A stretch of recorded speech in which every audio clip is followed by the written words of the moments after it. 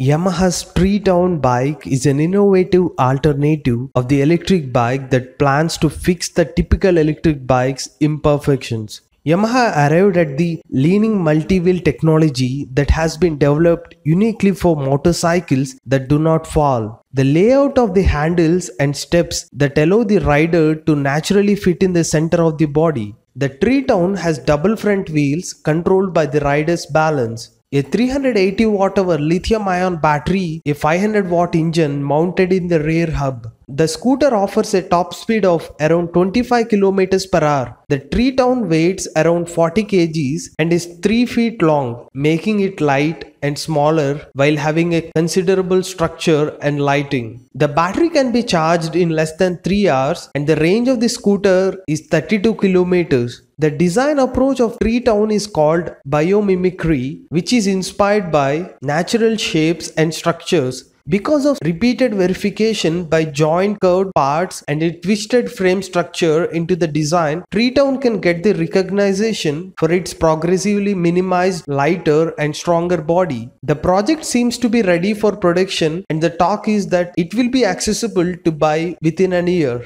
Go green, go electric.